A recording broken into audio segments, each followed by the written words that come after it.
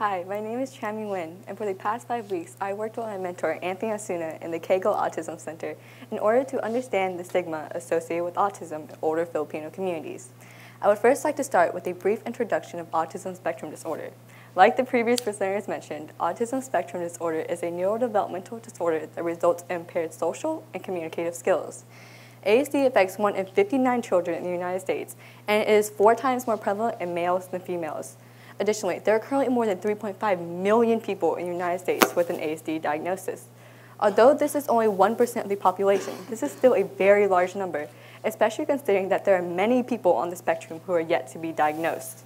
A large issue pertaining to ASD, however, is the underrepresentation of ethnic minorities. There currently is a large disparity between ethnic minority families and non-ethnic white families regarding the rates of ASD diagnosis and treatment. This gap in time and lack of treatment is especially crucial for children within these ethnic minority communities, as it directly impairs their social, emotional, and behavioral development. This gap is also reflected within ASD research participation, where samples tend to be primarily white or researchers fail to provide enough contextual details about the participants, both of which impair the, generalizability of these studies' results. A potential cause to both of these issues may be a phenomenon that is more prevalent within ethnic minority communities which is stigma. Stigma, as Google defines it, is a mark of disgrace associated with a particular circumstance, quality, or person. This definition, however, does not encompass the entirety of the meaning of the word stigma, which can be further divided into two categories, public and perceived. Public stigma is when a community collectively endorses discriminatory behavior, prejudice, and stereotypes against a certain characteristic. Perceived stigma, on the other hand, is it's when an individual with that certain characteristic or that individual's family internalizes the public stigma that they, that they either experience or perceive from their community. And as a result, they develop feelings of shame and discomfort about that characteristic. My study analyzed both types of stigma while looking at older Filipino communities. We chose to focus on these demographics since stigma is more prevalent within ethnic minority communities, as well as within older generations. Now, in case I didn't mention before, my study is a descriptive case study, which means I analyze data from one specific interview in order to construct a detailed description of, her, of one person's experiences with stigma. The interview who participated in my study was a 40-year-old Filipino mother of an 8-year-old boy with ASD. She is of mixed descent, identifying as both white and Filipino. Additionally, her husband is of white ethnicity. The interviewee immigrated to the U.S. from the Philippines after college, and both she and her husband work full-time. The interviewee engaged in a semi-structured interview that lasted approximately 70 minutes. This video, this interview was uh, video recorded and was then transcribed by two researchers. From there, it was thematically analyzed using an inductive approach. An inductive approach means that we derived the codes to analyze the data directly from the data itself, which limited the possibility of any intermediaries that may have resulted in misinterpretations of the data. From the data, we had 19 codes, of which 8 applied to my study. These eight codes were then further organized into themes of stigma, cultural differences, and generational differences. Stigma in particular was both a code, a theme, as well as a central topic of my study. Following our thematic analysis process, we also took measures to ensure credibility. Firstly, the interview was coded twice by three researchers in order to ensure inter-rater reliability. We also performed a member check in which we returned the interpretations of the results back to the participant to check for accuracy and resonance. From there, our results indicated that all three themes showed relations to each other. However, stigma showed a stronger relation to themes of cultural differences and generational differences separately than these two themes showed to each other. My results can be further explained by, an, by utilizing the analogy of a building in which all three themes built on top of each other in order to construct the central topic of stigma. On the first floor, we found that stigma is related to ASD awareness, specifically the lack of. In order to explain this clearly, I would like to use the interviewee's experiences, which was our data itself. The interviewee first recalled that her experience with stigma was first in an elevator in the Philippine consulate, in which an elderly Filipino woman consistently questioned her as to why her son, who was nonverbal at the time, would not respond and communicate with the woman. This demonstrates a lack of knowledge regarding ASD symptomatology on the elderly woman's part. However, it is not so clear-cut. The interviewee, who is normally very open about her son's ASD diagnosis, started feeling uncomfortable of, with the notion of correcting and educating this older woman. She attributed this to the woman's characteristics, specifically in the fact that she was an older Filipino. This demonstrates our second finding, that stigma is a generational phenomenon. Earlier in the interview, the interviewee cited living next door to two Filipino nurses However, they treated her son with kindness and compassion, which was a stark contrast to the treatment of this elderly woman.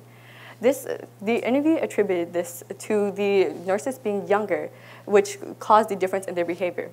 However, the interview also attributed both the behavior of the herself and the woman in this scenario to having a cultural thing.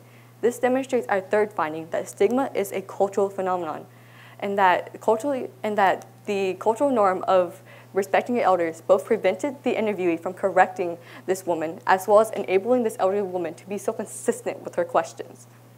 Again, I would like to further explain my results by revisiting the themes of public and perceived stigma. Again, I would also like to use the interview experiences, but I would first like to focus on public stigma. The interviewee recalled that whenever she spoke to people from the Philippines about her son's ASD diagnosis, they often expressed public stigma in the form of shame and pity. They often told her, oh, you have a special child. God bless you. And they compared her child to a burden or a cross that she had to bear. This demonstrates how a lack of base knowledge about ASD as well as its causes led to misperceptions about it, which then led to the manifestation of stigma.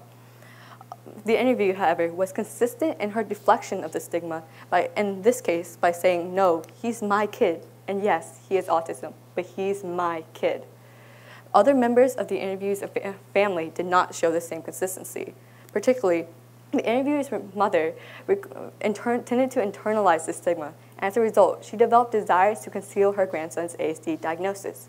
She, she expressed the desire to the interviewee by saying, oh, don't tell other people. Why are you posting about him having autism? Despite the interview explaining her reasoning as to why she posted about him on online communication forums, such as Facebook, the interviewee's mother remained persistent in saying, yeah, but you shouldn't tell other people. This demonstrates how the interviewee's mother tended to internalize the stigma. As a result, she associated an ASD diagnosis with shame and concealment. All in all, my study included four things. Firstly, that stigma is related to a lack of ASD awareness. Secondly, stigma is a generational phenomenon. The interviewee's experiences reaffirm the notion that stigma is more prevalent in the older generations, and that the interviewee experienced more stigma from the older communities as, than the younger ones.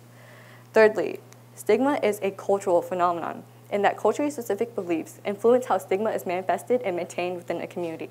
And fourth, both public and perceived stigma were prevalent within the interview's experiences. It is important to note that within my results, however, that the interview's experiences cannot be generalized to the entirety of the Filipino community. This is because one person's results and experiences cannot be accountable for entire communities. Additionally, the interviewee has experienced cultural blending, which is something that is common within many people who, uh, who have intersecting identities. Firstly, the, interview, the interviewee is of mixed descent, identifying as both white and Filipino. Additionally, the interviewee has lived half of her life in the Philippines, as well as half of her life in America. She, she specifically said within the interview that she has both a Filipino self as well as an American self. This was both a strength and a limitation within my study, in that while she, was she wasn't able to account for either culture, she was able to provide insight and comparisons between the two cultures. Future works of this study may include the expansion of the study by including multiple participants in order to increase the generalizability as well as the representation of both the sample and the, and the study itself. Other works may also consider this data to further develop an understanding of stigma, and as well as to potentially design a methodology to combat this stigma, so that someday in the future, autism won't be just used as a slang word that's so casually thrown around. With that, I would like to thank my, ment my mentor, Anthony Osuna, as well as the interview for participating in the study. Sorry, this is a really long list. I would also like to thank my unofficial mentor, Dana, as well as the Koegel Autism Center and all my partners who worked with me there. I extend my gratitude to Dr. Lena Kim, as well as my ETA Michael Hughes, and my RC, Dory, as well as my friends and family, who I both met here and back at home. Now, most importantly, I would like to thank my mentors, Instagram famous dog, Pavlov the Corgi, for providing motivation and support during those particularly rough days. Thank you.